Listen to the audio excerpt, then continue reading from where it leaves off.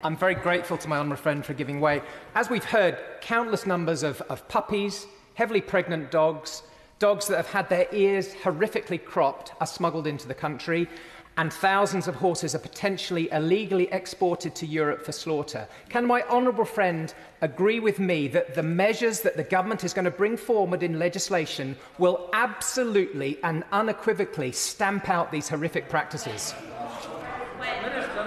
I certainly can do that, Mr Deputy Speaker, and I think, thank my honourable friend and neighbouring MP for his interventions. There can be nobody more qualified and experienced in animal welfare than a vet, which we have speaking today uh, with such sense.